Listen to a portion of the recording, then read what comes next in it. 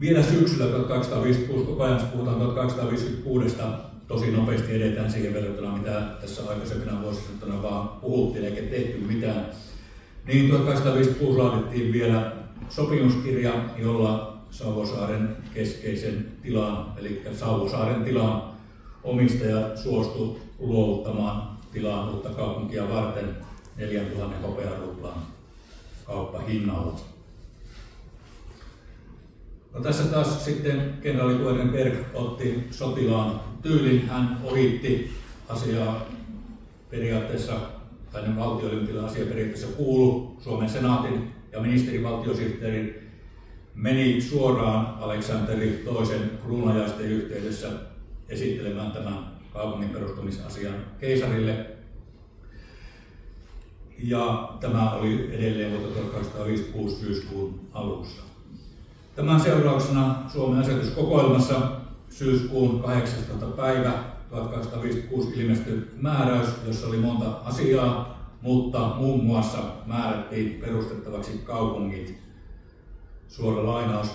Varkauden virran tykönä Leppävirran pitäjässä, Iinsalmen luona Iinsalmen pitäjässä ja Kuopion läänissä, Salon sillan tykönä Uskolan pitäjä, Uskelan pitäjässä, Ikaalisessa Turun ja Porin läänissä sekä Sauvonsaaren tykönä alapuolella Kemin virran suunta eli ulosjuoksua Oulun läänissä. Tämä on siis ihan asetuskokoelmasta löytyvä virke. Eli siis kaiken kaikkiaan 1256 vuoden aikana Kemin perustaminen eteni vauhdilla. Tuon mukaan on ajatella, että Kemi perustetaan siis 1857 ainakin jo. Mutta jotain sitten tuli, tuli tässä väliin. Toteutuminen kesti siis vielä 13 vuotta. Monia syitä tähän nyt oikeastaan on löydettävissä. Kemin perustamisvaiheessa tässä Sausaaren niemellä oli, oli tuota, kaksi varsinaista maatilaa, tuo Savosaari, joka jo mainittiin, sen kauppaamista sitten helpotti se, että sen tärkeimmät rakennukset palo tulipalossa kokonaan 1857. Sen hankkiminen ei sitten enää ollut niinkään hankala, koska muuten ehkä ollut. Sitten oli Täikkö. Täikkö oli jakautunut kahteen tilaan. Tuossa vaiheessa oli Meritäikkö, joka sijaitsi suunnilleen tuossa keskuskansakoulusta vähän ylöspäin. Ja sitten Lahtitäikkö, joka oli nykyisen rautatieaseman lähellä. Ja tuon lisäksi alueella oli erilaisia mökkiläisten asumuksia, niin kuin tuohon aikaan oli näiden isompien tilojen nurkille, jossa sitten aina palkattiin väkeä sesonkin aikana maatöihin. Tämä oli se ajatus.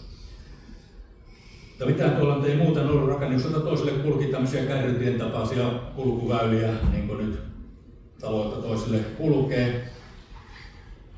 Oulun Tornion tieltä tuli kapea tie Savosaareen etelästä päin oli huonokuntoinen silta, joka ylitti Karjalahden ojan ja pohjoisesta päin Savosaarelle pääsi Kehnoa kärrytietä pitkin. Tässä nyt tulee muutama kartta, jota en tiedä, onko nä, näytetty ikinä missään. Mä löysin Oulun, Oulun maakuntaarkistosta nämä.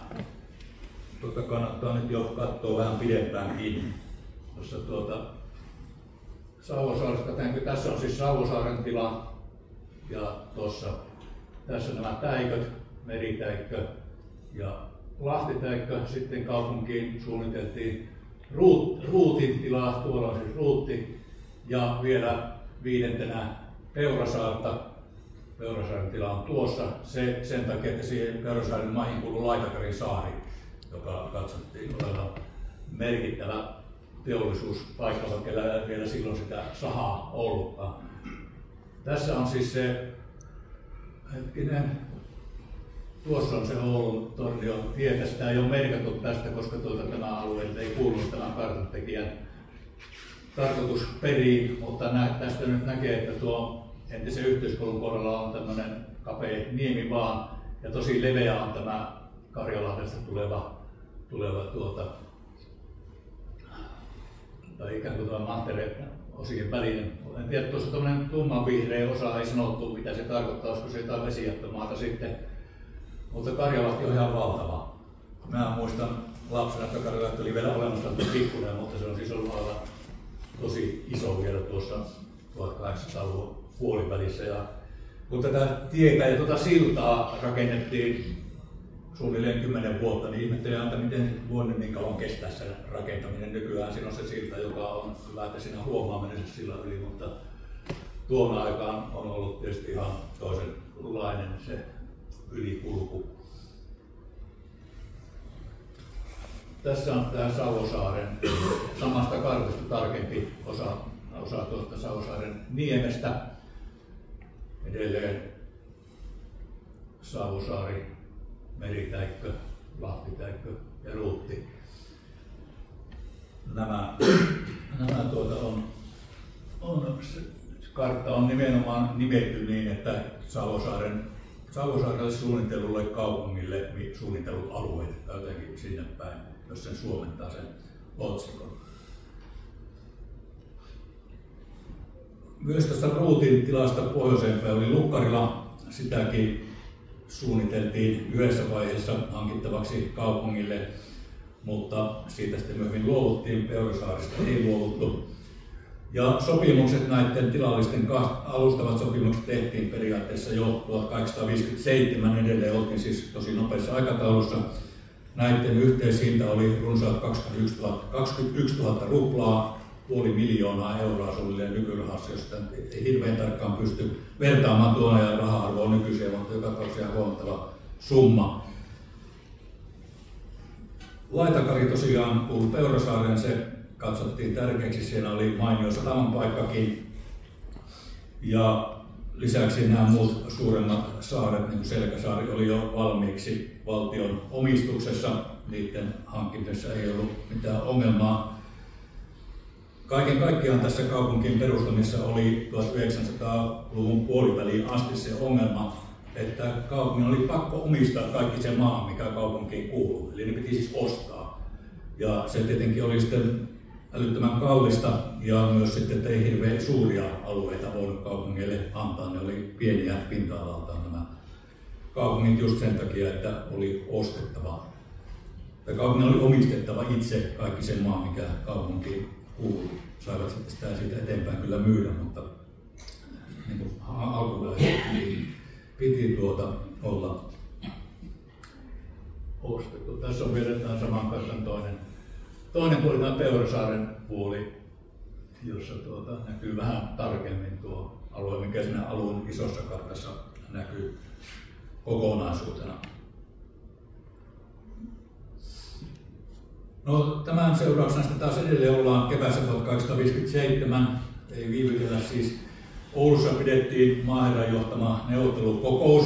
Sinne oli kutsuttu kaikki, joihin tämä uuden Mohosen kaupungin perustaminen vaikuttaisi. Siellä oli Oulun kauppiaita, Tornion kauppiaita, sitten näitä maanviljelijöitä, jotka asuivat tässä lähistöllä, mutta käytännössä ei juuri mitään merkittäviä huomautuksia siellä tehty. Eniten nämä Oulu ja Tornion kauppiaat valitti, että niille jäi sinne Haminasaareen, siihen vanhaan kauppapaikalle, kojuli, jotka sitten menisi arvottomaksi sen takia, kun se sieltä loppuisi kaupankäynti. Maaherralla oli hyvä vastaus, ne oli luvatta rakennettu ja ei niitä tarvinnut millään korvata. No esitettiin sitten myös muutamia korjauksia asemakaavaehdotuksiin ja tärkein, että Vähähaara Jokisuta Savosaaren pitäisi ruopata. Nämä oli kuitenkin pieniä muutoksia kokonaisuuden kannalta ja maaherra lähetti sitten oman kirjelmänsä tuon jälkeen taas sinne Suomen senaattiin. Nyt oltiin kesällä, kesässä 57 mukana oli kustannusarvio johon kuuluu nämä edelleen jo mainitut tilat, niiden ostaminen siis, josta oli tehty jo esisopimus, ja sitten myös katujen ja torien kuntoonlaitto sekä julkisten rakennusten, jotka oli siis tulli, kamaria, raatihuone ja muita vastaavia, niiden rakentaminen, niin nämä kaikki sitten olisi maksanut pikkusen alle 35 000 ruplaa, oltiin jo aika lähellä miljoonaa euroa.